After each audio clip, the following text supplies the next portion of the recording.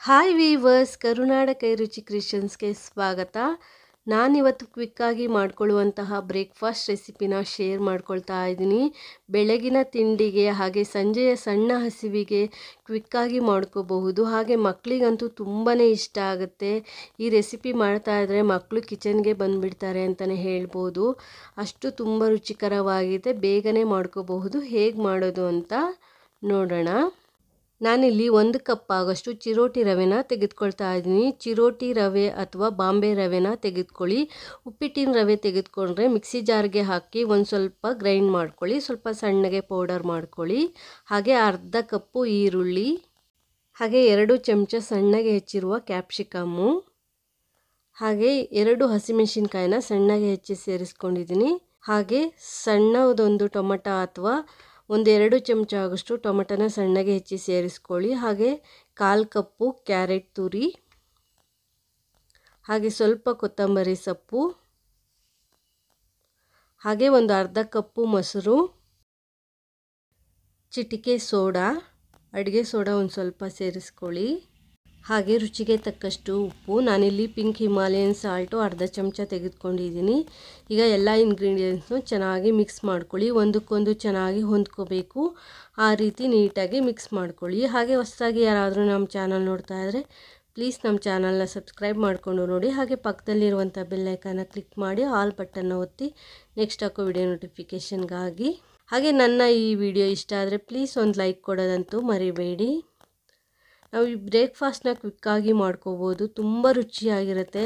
ಮಕ್ಕಳಿಗಂತೂ ಈ ಈ ತಿಂಡಿ ಮಾಡಿಕೊಟ್ರೆ ತುಂಬಾ ಇಷ್ಟಪಡ್ತಾರೆ ಅಂತಲೇ ಹೇಳ್ಬೋದು. ನೋಡಿ, ಈ ರೀತಿ ಮಿಕ್ಸ್ ಮಾಡ್ಕೊಂಡ ನಂತರ ನಾನೀಗ ಇದಕ್ಕೆ ನೀರನ್ನು ಸೇರಿಸ್ಕೊಳ್ತೀನಿ. ಅರ್ಧ ಕಪ್ಪು ನೀರನ್ನು ಸೇರಿಸ್ಕೊಂಡು ನಾನಿಲ್ಲಿ ಮಿಕ್ಸ್ ಮಾಡ್ಕೊಳ್ತಾ ಇದ್ದೀನಿ. ಜಾಸ್ತಿ ನೀರನ್ನು ಸೇರಿಸ್ಲಿಕ್ಕೆ ಹೋಗಬೇಡಿ. ಸೊ, ಅರ್ಧ ಕಪ್ಪು ಮೊಸರನ್ನು ಸೇರಿಸ್ಕೊಂಡಿದ್ದೀನಿ. ಅರ್ಧ ಕಪ್ಪು ನೀರನ್ನು ಸೇರಿಸ್ಕೊಂಡು ನಾನಿಲ್ಲಿ ಚೆನ್ನಾಗಿ ಮಿಕ್ಸ್ ಮಾಡ್ಕೊಳ್ತಾ ಇದ್ದೀನಿ. ಕನ್ಸಿಸ್ಟೆನ್ಸಿನ ನೋಡಿಕೊಂಡು ನೀವು ನೀರನ್ನು ಸೇರಿಸ್ಕೋಬೇಕಾಗತ್ತೆ. ನೋಡಿ, ಈ ಹದಕ್ಕೆ ನಾವು ಕಲಸಿ ಇಟ್ಕೋಬೇಕು. ತುಂಬ ರುಚಿಯಾಗಿರುತ್ತೆ. ಹಾಗೆ ಮಕ್ಕಳ ಲಂಚ್ ಬಾಕ್ಸ್ ಸಹ ನಾವು ಈ ಬ್ರೇಕ್ಫಾಸ್ಟ್ನ ಮಾಡಿ ಕಳಿಸ್ಬೋದು.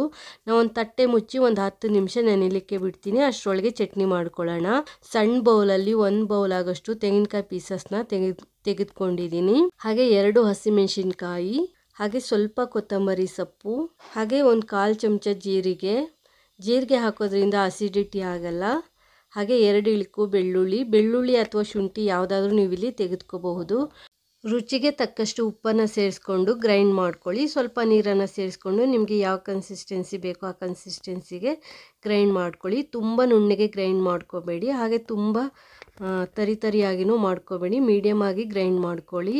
ಈಗ ಚಟ್ನಿ ಗ್ರೈಂಡ್ ಮಾಡಿ ಇಟ್ಕೊಂಡಿದ್ದೀನಿ. ಒಗ್ಗರಣೆ ರೆಡಿ ಮಾಡ್ಕೊಳ್ತಾ ಇದ್ದೀನಿ. ಸ್ಟವ್ ಮೇಲೆ ಒಂದು ಒಗ್ಗರಣೆ ಪ್ಯಾನ್ ಇಟ್ಕೊಂಡು ಎರಡು ಚಮಚ ಎಣ್ಣೆ ಸೇರಿಸ್ಕೊಂಡಿದ್ದೀನಿ. ಅರ್ಧ ಚಮಚ ಸಾಸಿವೆ, ಹಾಗೆ ಅರ್ಧ ಚಮಚ ಜೀರಿಗೆ, ಹಾಗೆ ಸಣ್ಣದಾಗಿ ಹೆಚ್ಚಿರುವ ಸ್ವಲ್ಪ ಕರಿಬೇವನ್ನು ಸೇರಿಸ್ಕೊಂಡಿದ್ದೀನಿ. ಹಾಗೆ ಒಂದು ಒಣಮೆಣಸಿನ್ಕಾಯಿನ ಕಟ್ ಮಾಡಿ ಸೇರಿಸ್ಕೊಂಡಿದ್ದೀನಿ. ಒಂದು ಹತ್ತು ಸೆಕೆಂಡ್ ಆದ ನಂತರ ಫ್ಲೇಮ್ನ ಆಫ್ ಮಾಡಿ ಒಗ್ಗರಣೆನ ನಾನು ಎರಡು ಚಟ್ನಿ ಮತ್ತು ಹಾಗೆ ನಾವು ತಿಂಡಿಗೆ ಅಂತ ರೆಡಿ ಮಾಡಿಟ್ಕೊಂಡಿದ್ವಲ್ಲ, ರವೆ ಮಿಕ್ಸ್ಚರು ಅದಕ್ಕೆ ಸೇರಿಸ್ಕೊಳ್ತಾ ಇದ್ದೀನಿ. ಎರಡಕ್ಕೂ ಅರ್ಧರ್ಧ ಅರ್ಧ ಮಿಕ್ಸ್ ಮಾಡ್ಕೊಳ್ಳಿ. ನಾನು ಒಂದೇ ಸಲ ಎರಡಕ್ಕೂ ಸೇರಿಸಿ ಒಗ್ಗರಣೆನ ಮಾಡ್ಕೊಂಡಿದ್ದೀನಿ. ಸೊ ಎರಡಕ್ಕೂ ಒಗ್ಗರಣೆ ಸೇರಿಸಿದ ನಂತರ ಚಟ್ನಿಗೆ ಮಿಕ್ಸ್ ಮಾಡಿ ಪಕ್ಕಕ್ಕೆ ಎತ್ತಿಟ್ಕೊಬೇಡಿ. ಹಾಗೆ ನಾವು ರವೆ ಮಿಕ್ಸ್ಚರ್ ಏನಿದೆ ಅದಕ್ಕೆ ಒಗ್ಗರಣೆ ಏನು ಸೇರಿಸಿದ್ದೀವಿ ಅದನ್ನು ಸಹ ನೀಟಾಗಿ ಒಂದಕ್ಕೊಂದು ಹೊಂದ್ಕೊಳ್ಳೋ ರೀತಿ ನೀಟಾಗಿ ಮಿಕ್ಸ್ ಮಾಡ್ಕೋಬೇಕಾಗತ್ತೆ.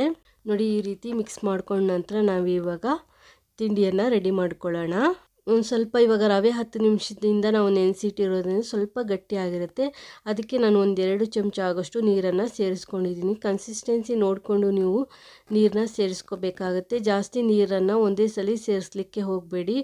ರವೆನ ನೆನೆಸಿಟ್ಟಿರ್ತೀರಲ್ಲ, ರವೆ ನೆನೆಸಿದಾದ್ಮೇಲೆ ನೀವು ಮಿಕ್ಸ್ ಮಾಡಬೇಕಾದ್ರೆ ಸ್ಪೂನ್ ಮೆಜರ್ಮೆಂಟಲ್ಲಿ ನೀರನ್ನು ಸೇರಿಸ್ಕೊಂಡು ಚೆನ್ನಾಗಿ ಮಿಕ್ಸ್ ಮಾಡ್ಕೊಳ್ಳಿ. ಎಷ್ಟು ಬೇಕು ಅಂತ. ಆಲ್ರೆಡಿ ನಾನು ಪಡ್ಡು ತವೆನ ಕಾಯಲಿಕ್ಕೆ ಇಟ್ಟಿದ್ದೀನಿ. ಅದಕ್ಕೆ ಅರ್ಧ ಅರ್ಧ ಚಮಚ ಆಗೋಷ್ಟು ಎಣ್ಣೆಯನ್ನು ನಾನಿಲ್ಲಿ ಸೇರಿಸ್ಕೊಳ್ತಾ ಇದ್ದೀನಿ. ನಾನು ಮಾಡ್ತಿರೋ ಅಂಥ ರೆಸಿಪಿ ಬಂದು ಪಡ್ಡು. ಕ್ವಿಕ್ಕಾಗಿ ಮಾಡ್ಕೋಬೋದು. ತುಂಬ ರುಚಿಕರವಾಗಿರುತ್ತೆ. ಮಕ್ಕಳಿಗಂತೂ ತುಂಬಾ ಇಷ್ಟ ಆಗುತ್ತೆ ಅಂತಲೇ ಹೇಳ್ಬೋದು. ನೀವು ಇದನ್ನು ಪಡ್ಡು ಆದರೂ ಮಾಡ್ಕೋಬೋದು ಅಥವಾ ದೋಸೆ ಆದರೂ ಮಾಡ್ಕೋಬೋದು. ನಾನಿಲ್ಲಿ ಒಂದೊಂದು ಚಮಚ ಆಗೋಷ್ಟು ಹಿಟ್ಟನ್ನು ಪಡ್ಡು ತವೆಗೆ ಸೇರಿಸ್ಕೊಳ್ತಾ ಇದ್ದೀನಿ. ತುಂಬ ಫುಲ್ ಆಗೋಷ್ಟು ನೀವು ಫಿಲ್ ಮಾಡಬೇಡಿ. ಮುಕ್ಕಾಲು ಮುಕ್ಕಾಲು ಆಗೋಷ್ಟು ಪಡ್ಡು ಒಳ್ಳೆ ಏನಿರುತ್ತೆ ಆ ಒಳ್ಳೆಗೆ ಫಿಲ್ ಮಾಡಿ, ಈಗ ಒಂದು ಲಿಡ್ ಕವರ್ ಮಾಡಿ ಬೇಯಲಿಕ್ಕೆ ಬಿಟ್ಬಿಡಿ. ಮೀಡಿಯಮ್ ಊರಿನಲ್ಲಿ ಒಂದು ಎರಡರಿಂದ ಮೂರು ನಿಮಿಷಗಳ ಕಾಲ ಬೇಯಲಿಕ್ಕೆ ಬಿಡಿ. ಒಂದು ಸ್ವಲ್ಪ ಅರ್ಧ ಬೆನ್ ನಂತರ ನೀವು ತಿರುವಾಕಿ ಬೇಯಿಸ್ಕೋಬೇಕಾಗತ್ತೆ. ಲಿಡ್ ಕವರ್ ಮಾಡೋದ್ರಿಂದ ಬೇಗನೆ ಬೇಯುತ್ತೆ. ನೀವು ಪಡ್ಡು ಬದಲು ಇಡ್ಲಿಯನ್ನು ಸಹ ಇದರಲ್ಲಿ ಮಾಡ್ಕೋಬೋದು. ಹಾಗೆ ಸಣ್ಣ ಸಣ್ಣ ಉಂಡೆಗಳಾಗಿ ಎಣ್ಣೆಯಲ್ಲಿ ಹಾಕಿದ್ರೆ ಬೋಂಡ ಥರನೂ ಆಗುತ್ತೆ. ಅದು ಸಹ ತುಂಬ ತಿನ್ನಲಿಕ್ಕೆ ತುಂಬ ರುಚಿಕರವಾಗಿರುತ್ತೆ. ಸೊ, ಇದರಲ್ಲಿ ನೀವು ನಾಲ್ಕು ರೀತಿಯ ರೆಸಿಪಿಗಳನ್ನ ಸಹ ಮಾಡ್ಕೋಬೋದು. ದೋಸೆ ಮಾಡ್ಕೊಳ್ತೀನಿ ಅಂದರೆ ಇನ್ನೊಂದು ಸ್ವಲ್ಪ ನೀರನ್ನು ಸೇರಿಸ್ಕೊಂಡು ನೀವು ದೋಸೆಯನ್ನು ಸಹ ಮಾಡ್ಕೋಬಹುದು ಮಕ್ಕಳಿಗೆ ಈ ರೀತಿ ತರಕಾರಿ ಎಲ್ಲ ಹಾಕಿ ಮಾಡಿಕೊಟ್ರೆ ತುಂಬಾ ಇಷ್ಟ ಆಗುತ್ತೆ ಅಂತಲೇ ಹೇಳ್ಬೋದು. ಎರಡು ನಿಮಿಷ ಆದಮೇಲೆ ಲಿಡ್ ಓಪನ್ ಮಾಡಿ ಈ ರೀತಿ ತಿರುವಾಕಿ ಬೇಯಿಸ್ಕೊಳ್ಳಿ. ನೋಡಿ, ಮೇಲ್ಗಡೆ ಪೂರ್ತಿಯಾಗಿ ಆರಿಲ್ಲ, ಸೊ ಬ, ಅದು ಬಣ್ಣ ಚೇಂಜ್ ಆಗಿಲ್ಲ. ನೀವು ಈ ಹಂತದಲ್ಲಿ ನೀವು ತಿರುವಾಕಿ ಬೇಯಿಸ್ಕೊಂಡ್ರೆ ಪಡ್ಡು ರೌಂಡಾಗಿ ಶೇಪ್ ಬರುತ್ತೆ. ಸೊ ಸೊ ಇನ್ನೊಂದು ಸ್ವಲ್ಪ ಹೊತ್ತಾದಮೇಲೂ ಸಹ ನೀವು ತಿರುವಾಕಿ ಬೇಯಿಸ್ಕೋಬೋದು.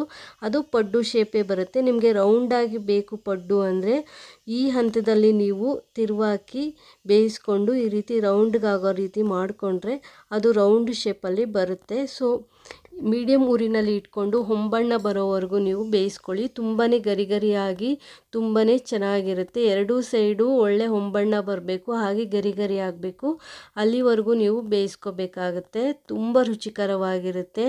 ನೋಡಿ, ಇವಾಗ ಒಳ್ಳೆ ಬಣ್ಣ ಬಂದಿದೆ. ಪಡ್ಡುಗಳನ್ನೆಲ್ಲ ನಾನು ಒಂದು ಪ್ಲೇಟ್ ಮೇಲೆ ತೆಗೆದುಕೊಳ್ತಾ ಇದ್ದೀನಿ. ಸೊ, ಈ ರೀತಿ ತರಕಾರಿ ಪಡ್ಡು ಮಾಡಿಕೊಡಿ. ಮಕ್ಕಳಿಗೆ ತುಂಬಾ ಇಷ್ಟ ಆಗುತ್ತೆ ಅಂತಲೇ ಹೇಳ್ಬೋದು. ಹೆಲ್ದಿ ಪಡ್ಡು ರೆಸಿಪಿ, ರವೆ ಇದ್ದರೆ ಸಾಕು. ಈಸಿಯಾಗಿ ನಾವು ಈ ರೆಸಿಪಿನ ಮಾಡ್ಕೋಬಹುದು. ನೀವು ತಡವಾಗಿ ಎದ್ದಾಗಲೂ ಸಹ ಈ ರೆಸಿಪಿನ ನಾವು ಕ್ವಿಕ್ಕಾಗಿ ಮಾಡ್ಕೋಬಹುದು. ಹಾಗೆ ಬ್ರೇಕ್ಫಾಸ್ಟ್ ಮತ್ತು ಮಕ್ಕಳ ಲಂಚ್ ಬಾಕ್ಸ್ಗೂ ಸಹ ನಾವು ಕ್ವಿಕ್ಕಾಗಿ ಮಾಡ್ಕೋಬಹುದು. ತುಂಬ ರುಚಿಕರವಾಗಿರುತ್ತೆ. ಸಂಜೆ ಏನಾದರೂ ಸ್ವಲ್ಪ ಹೊಟ್ಟೆ ಹಸಿದಾಗ ಹೊಟ್ಟೆ ಹಸಿವಿಗೆ, ಸಂಜೆ ಸಣ್ಣ ಹಸಿವಿಗೆ ನಾವು ಈ ರೀತಿ ಪಡ್ಡುಗಳನ್ನ ಮಾಡಿಕೊಂಡು ತಿನ್ಬೋದು, ತುಂಬ ಚೆನ್ನಾಗಿರುತ್ತೆ. ಒಂದ್ಸರಿ ಈ ಪಡ್ಡು ರೆಸಿಪಿನ ಟ್ರೈ ಮಾಡಿ ನೋಡಿ ಹೇಗಾಗಿದೆ ಅಂತ ಕಮೆಂಟ್ ಮಾಡಿ ತಿಳಿಸಿ. ಹಾಗೆ ನನ್ನ ಈ ವಿಡಿಯೋ ಇಷ್ಟ ಆದರೆ ಪ್ಲೀಸ್ ಒಂದು ಲೈಕ್ ಕೊಡೋದಂತೂ ಮರಿಬೇಡಿ. ಹೊಸದಾಗಿ ಚಾನಲ್ ನೋಡೋರು ಸಬ್ಸ್ಕ್ರೈಬ್ ಮಾಡಿಕೊಂಡು ನೋಡಿ. ಪಡ್ಡುನ ನೋಡಿ ಒಂದು ಕಟ್ ಮಾಡಿ ತೋರಿಸ್ತಾ ಇದ್ದೀನಿ. ಒಳಗಡೆ ಎಷ್ಟು ಚೆನ್ನಾಗಿ ಬೆಂದಿದೆ, ಮೇಲ್ಗಡೆ ಗರಿ ಗರಿ ಆಗಿದೆ. ತುಂಬಾ ಚೆನ್ನಾಗಿರುತ್ತೆ. ಕ್ವಿಕ್ಕಾಗಿ ಮಾಡ್ಕೋಬೋದು. Thanks for watching this video. Take care. Have a nice day.